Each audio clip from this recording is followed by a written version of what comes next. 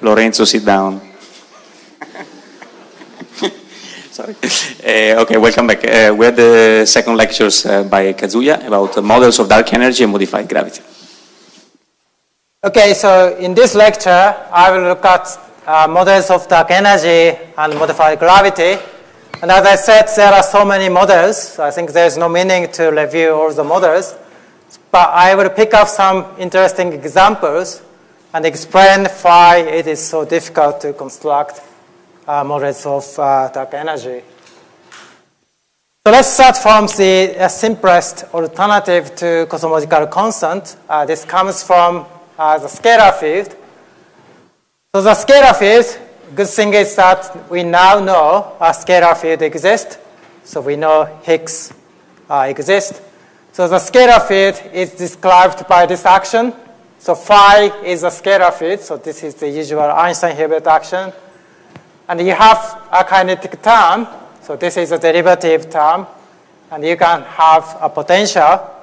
And you see that if there is no kinetic term, and if potential term is constant, this is just a cosmological constant. So this is a very simple extension of the cosmological constant. So this is a very good exercise if you do not uh, study GR. So calculate the energy momentum tensor for the scalar field using this action. So the definition uh, is given by this. And you can also derive the equation motion for the scalar field. So you take variation of scalar field and then you get this uh, equation for the scalar field. So this is the covariant derivative. So this v prime is the derivative uh, with respect to uh, phi. So my notation is v prime uh, is the v phi. And the same story applies. So if you calculate the conservation of this energy momentum tensor, you reproduce the scalar field equation of motion. So this is the equation for the scalar, and this is consistent with the conservation of energy momentum. Okay? So now let's consider homogeneous uh, solutions. Homogeneous solution means that phi is just a function of time. Then you compute energy density and the pressure. So energy density is minus T upper zero, lower zero. And you find that density is given by kinetic energy. So phi dot is the time derivative. So this is the definition of phi dot. Uh, I define as the phi dt. So this first term is the kinetic energy, and you have potential. And pressure you have kinetic energy minus potential. And then you can derive the equation motion for the scalar field. And this looks like just a harmonic oscillator if potential is m square phi square. So this becomes m square times phi. And then this becomes harmonic oscillator. However, there is an interesting term here, which is proportional to Hubble expansion. So this comes from the expansion of the universe. So this gives the friction. So the motion of the scalar field, for example, for given potential, so there is no expansion of the universe. This scalar field just oscillate around this minimum. But thanks to this friction, the scalar field can uh, be rolling down this potential very slowly. And in fact, if this happens, the kinetic energy of the scalar field is very small compared with the potential energy. If phi depends on t very weakly, so then you can ignore phi dot squared. And then you notice that, of course, uh, this is the cosmological constant. So the equation of state is close to minus 1. So this means that this is a very simple extension of cosmological constant but the equation of state is not exactly minus 1. So it can be different from minus 1, and this is determined by the potential. Okay?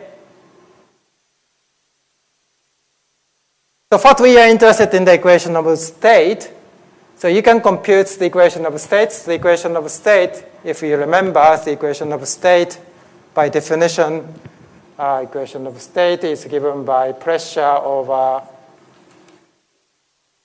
uh, energy density. And we are interested in the 1 plus equation of state. So this is given by pressure plus density divided by density. And if you remember, the energy density is given by kinetic energy plus potential. And then pressure is the kinetic energy minus potential. Okay, so if you add energy density and pressure, the potential disappears. And so 1 plus W is determined by just phi dot squared. So again, if phi is constant, it's minus 1. And defining this psi parameter, this is the second derivative of scalar field divided by 3h phi dot. This can be written in this way. So this is just writing down phi dot squared in a complicated way. So why we want to do that? This psi phi basically measures how slowly the scalar field is moving. So if phi is moving very fast, the second derivative is very large. So psi, psi becomes large. So in order to get w close to minus 1, this psi must be smaller than 1. And using this condition, this equation can be rewritten in this way. So here uh, I make the assumption that the uh, the expansion of the universe h squared is 8 pi g over 3 rho phi. And once the kinetic energy becomes small, this can be approximated by uh, just the potential. So this is the approximation. So you ignore the kinetic term. And using these approximations, everything can be written in terms of the potential. And here I define 8 pi g as kappa squared. And this is related to the Planck scale. So before I define g equals 1 over small Planck scale squared, but this is the reduced Planck scale, so it's 8 pi is included. So this uh, kappa squared is just 8 pi g. Um, and then this epsilon phi is known as the slow roll parameter. So this is just written by potential. And the equation of state is written by this slow roll parameter and this uh, density parameter for the scalar field. So this is a ratio of the scalar field energy density to the total energy density.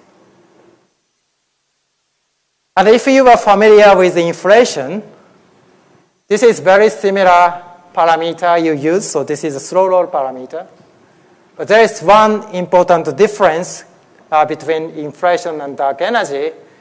Because during inflation, scalar field is a dominant energy. But at late times, you cannot ignore matter density. So this omega phi is not 1. So you have to take into account this. So this is, uh, is the function uh, describing how scalar field dominates the energy. So this epsilon describes how slowly the scalar field is moving the potential. And this epsilon is related to the uh, potential, so you can parameterize this epsilon, so I will come back to this. Okay? So basically, if epsilon is small, W becomes uh, close to minus 1. And the good thing of having models is that equations of state uh, is fixed for a given potential and initial conditions. And of course, there can be many potentials. But looking at uh, different potentials, you notice that, in fact, equations of state, uh, the parameter space is limited. So it, it is not arbitrary so that's a good thing. If you say there is dark energy with some equation of state, equation state can be anything. But you say it's, it's coming from a scalar field, and a given potential you can predict what is the equation of state. And most of the uh, potentials can be classified into two categories of models.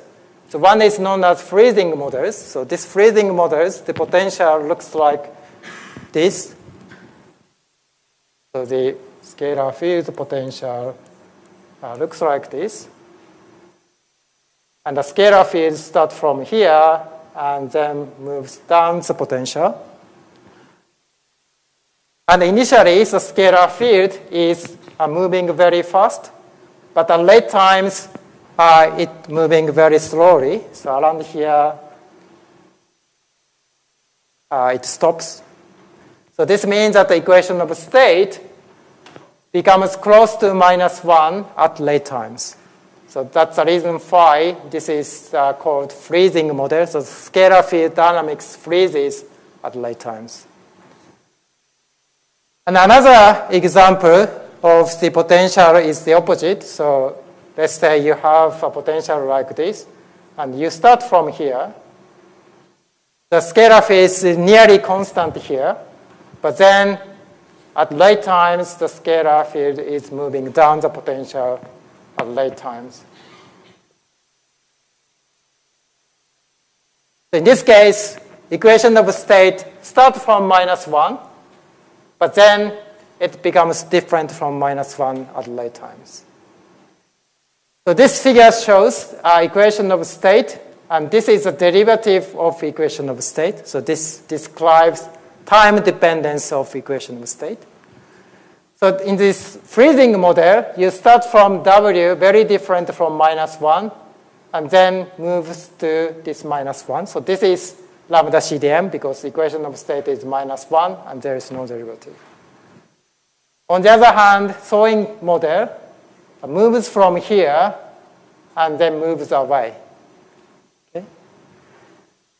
And then in this paper, it was noticed that by choosing many different potentials, most of the models are within this yellow band.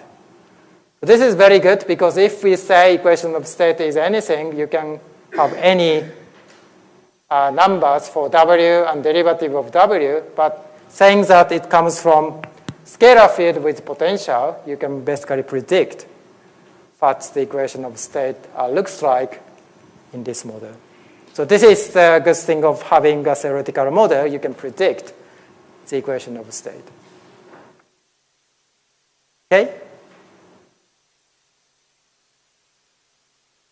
And in fact, the scalar field model gives one interesting example where cosmological constant is not a constant at early times.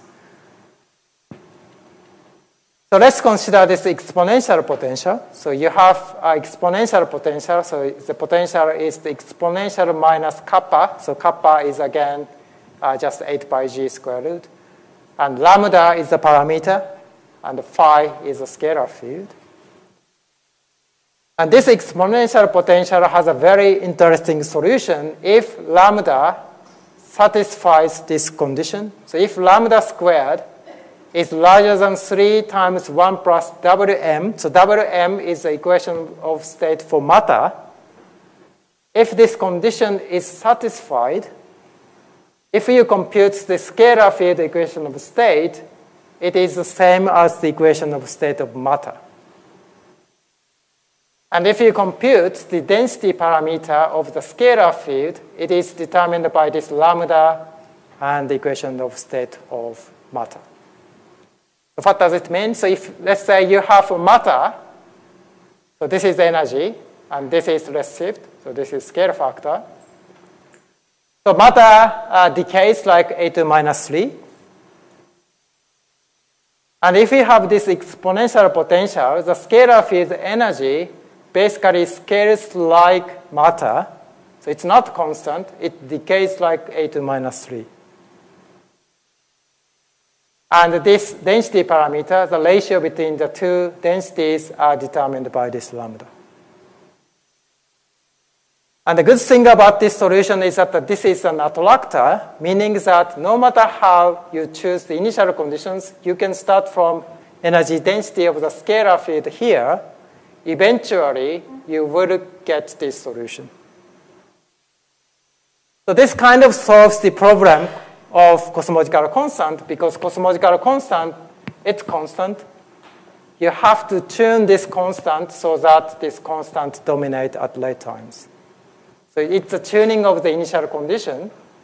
But in this case, independent of initial conditions, you always go to this solution.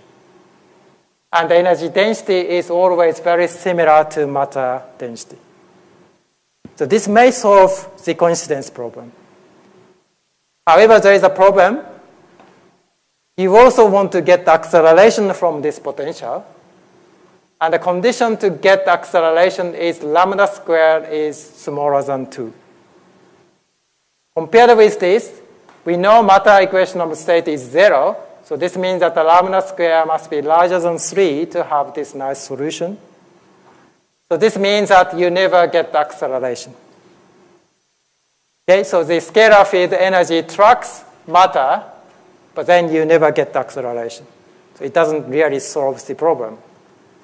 And what people did is to add another exponential potential with small coefficient here, mu, which is smaller than, mu squared is smaller than 2. So this potential eventually accelerates the universe. So this still solves the uh, sensitivity to the initial conditions because independent of initial energy of the scalar field, you get this nice solution. So it tracks matter energy and then accelerates the universe. But think about it, it doesn't solve the coincidence problem. So what determines when this acceleration happens is basically the parameters. So you have to tune these parameters so that the acceleration happens today. So this is not really solving the coincidence problem. However, by adding the dynamics to the cosmological constant or dark energy, you can say something about this uh, initial condition problem, so sensitivity to the initial density. Okay? So these are the examples of the quintessence, quintessence model, and you can come up with millions of models depending on the potential. But in fact, all these potentials have the same issue. So this can be understood using this very simple potential. So let's consider m squared phi squared, so the quadratic potential. As I said that in order to have acceleration, so w close to minus 1, you need to satisfy that the slow roll parameter is smaller than 1. So this is the condition so that the scalar field example, in this case, you have uh, m square phi square potential. And you want to make sure that scalar field is moving very slowly. So you have to satisfy this condition. And you notice that for this potential, m square disappears because you have v prime over v. So m square disappears. So this is the conditions for phi. So phi must be larger than Planck scale. So again, if you are familiar with uh, inflation, this is in this, this roll condition. The scalar field must be larger than Planck scale. So now then you want to have this potential energy of the scalar field is the dark energy density. We know that the dark energy density is 10 to minus 48 uh, GeV to the fourth power.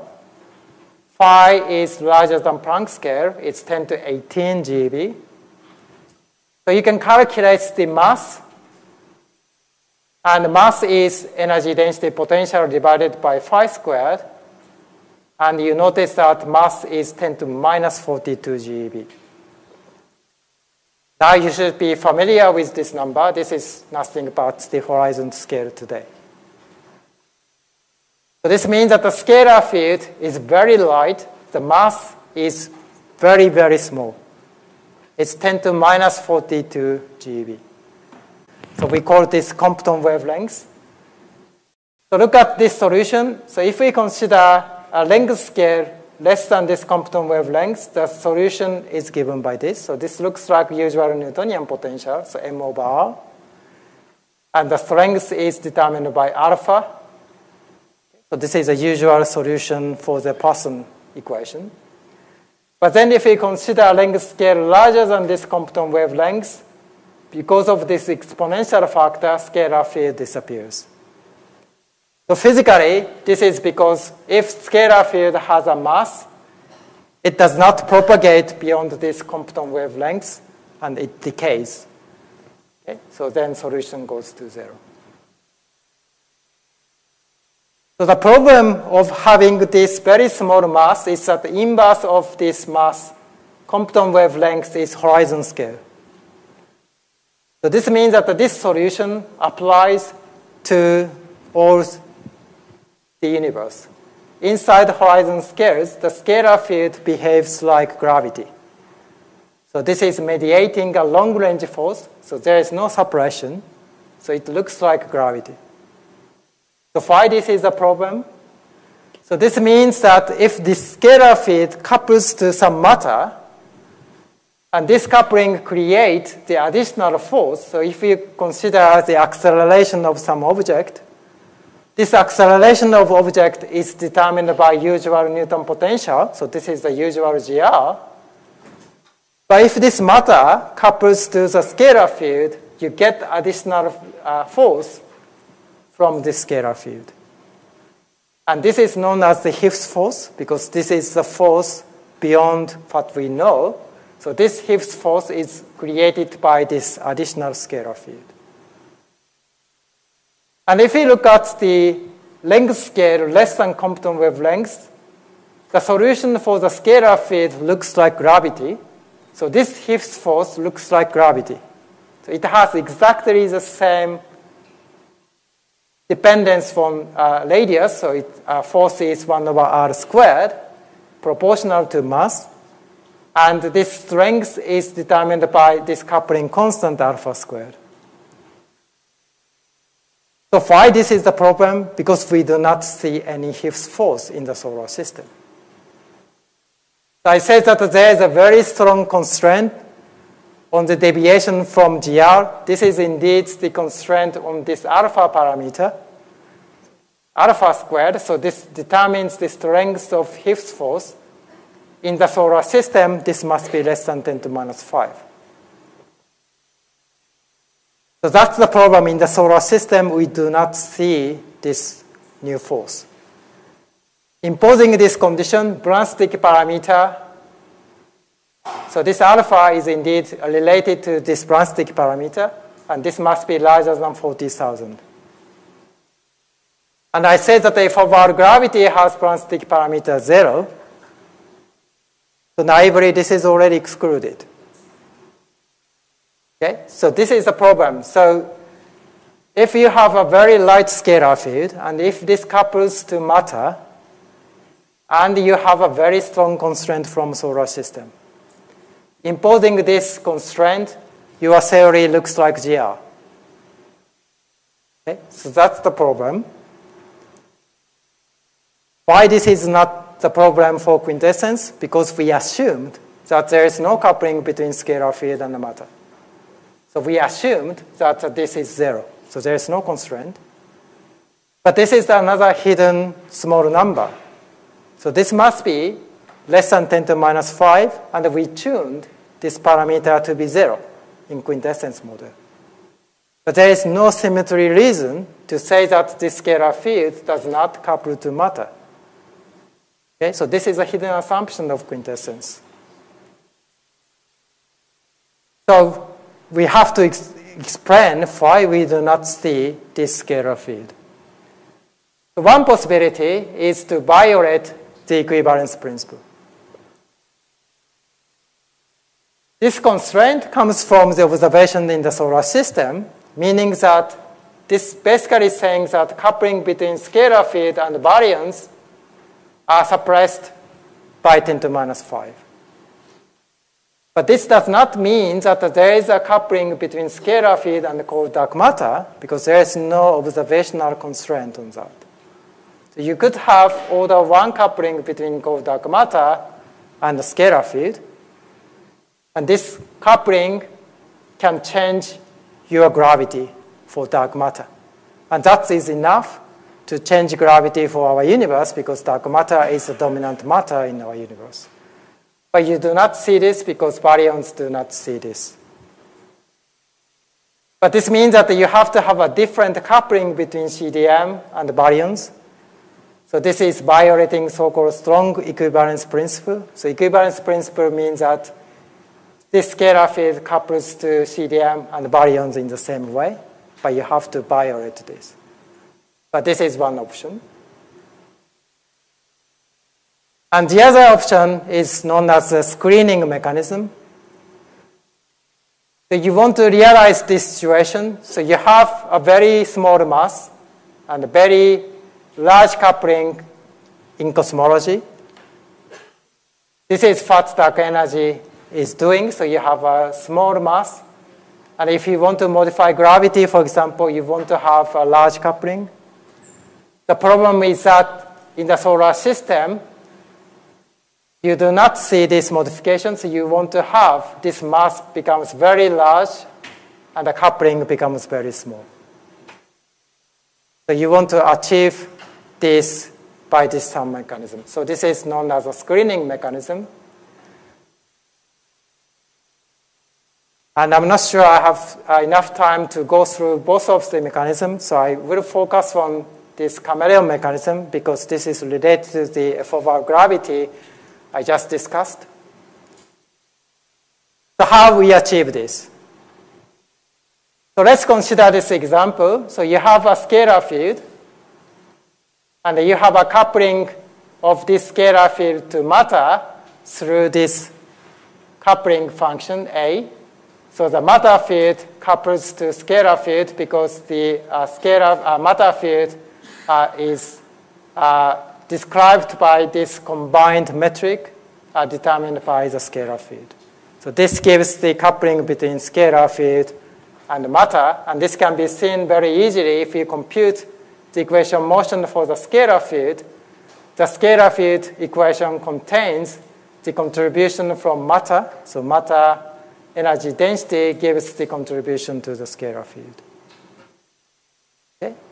So this is an example where the scalar field is coupled to matter. So this alpha is the uh, strength of the coupling. And we want to change the coupling between scalar field and the matter depending on the density.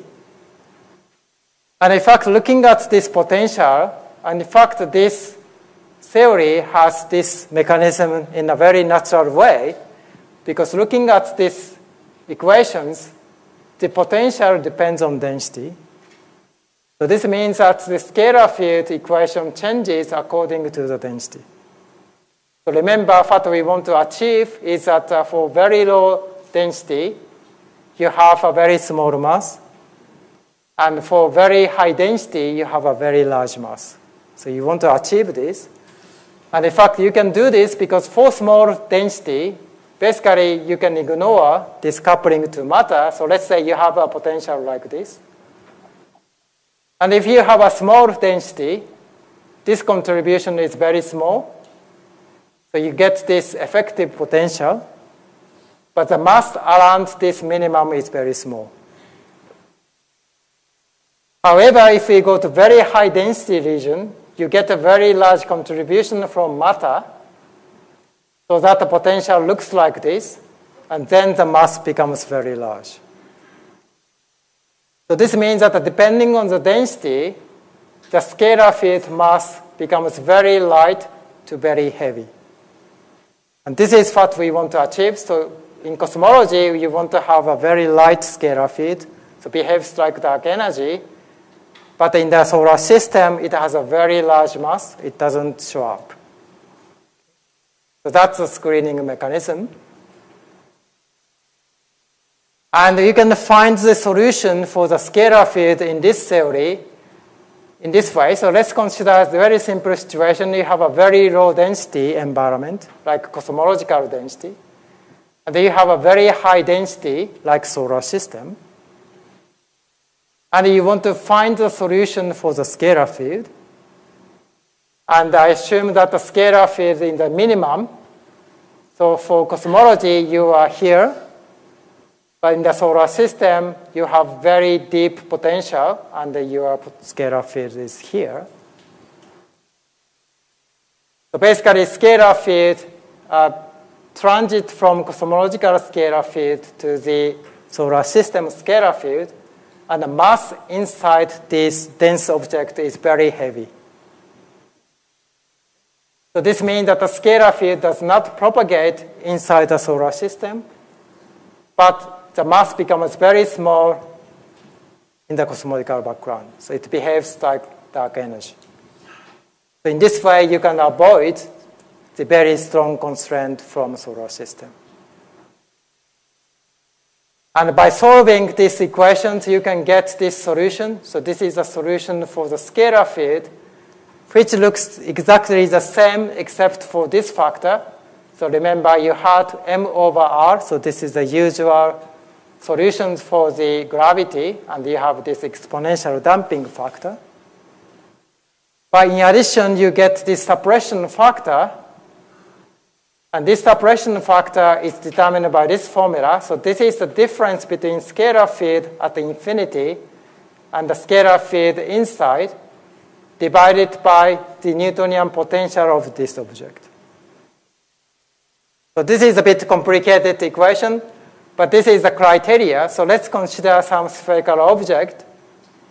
You compute your Newtonian potential and compares this with the difference between the scalar field inside this body and outside. And if this condition is satisfied, your coupling is effectively suppressed. And then the scalar field disappears. So this is known as the chameleon mechanism. And this means that the, uh, whether you see the screening or not depends on the gravitational potential of the object.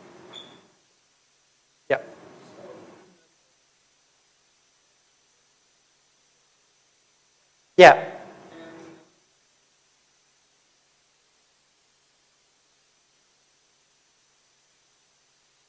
So this depends on, so due to this formula, in fact, it's not the length scale. It is determined by the potential of the object.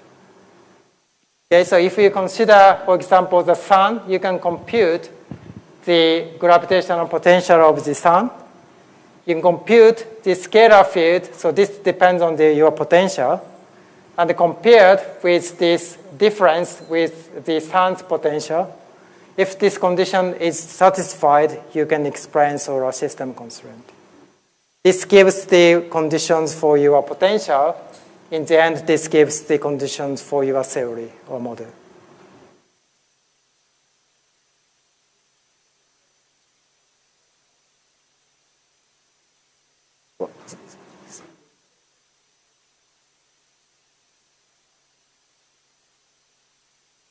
You mean quantum, quantum correction? Yes, quantum correction is another question, yes.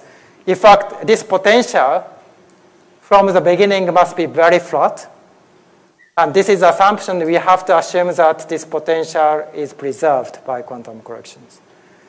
It helps that this matter gives a deep potential, but still this matter is not huge enough. So I think I probably uh, need to think about time, so let's see.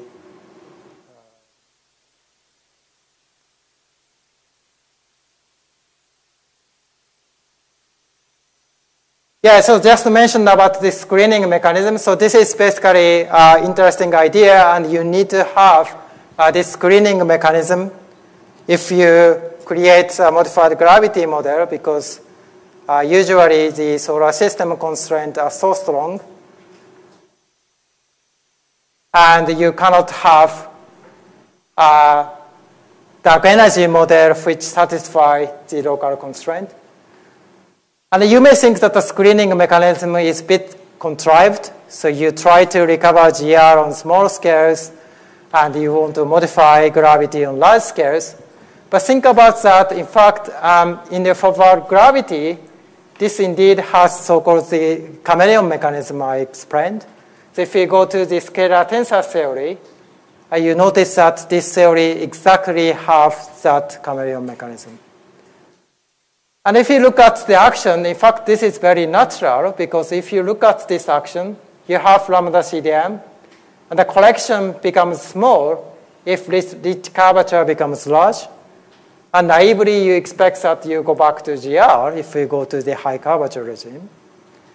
And this is achieved by this uh, chameleon mechanism. So screening mechanism is not that contrived. So some of models, for example, DGP model I explained, also has this screening mechanism. So again, look at this action. You have exactly the four-dimensional Einstein theory here.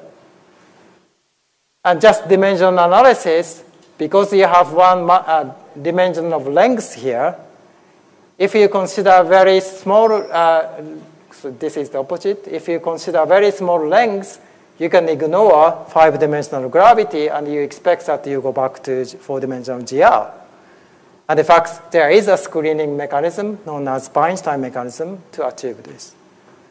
So some of modified gravity models can have this screening mechanism in a natural way. But the point is that you have to have this screening mechanism, otherwise uh, you cannot explain the local uh, constraint. So just to sum, so I just show some example of the uh, dark energy model, and you can look at this review. And you kind of a bit depressed by looking at this review because so many models. Okay, so this is 2006. And after that, um, people are interested in the modified gravity, and then this is the 2011 review. So this is not dark energy, this is just modified gravity. So now you get more and more models. Okay? But we have to remember that the, we are not solving fundamental problems yet. All these models have the problem that they have small numbers. For modified gravity models, you have to make sure you recover solar system constraint on small scales. Okay? You can modify gravity on cosmological scales, but if you modify gravity on the solar, in the solar system, then your model is already excluded. So you have to check your local constraint. So I think situation is pretty much similar to early universe or cosmology before WMAP satellite came. Probably all of you do not know this situation. So in 1998, so this is a CMB spectrum. You could have any models of cosmology at that time because we only have COBE data. A lot of balloon data, they are not consistent. You draw a lot of lines, they are all different theoretical models. Okay? And of course, you know that what happened after Planck is that this is the only model you can have.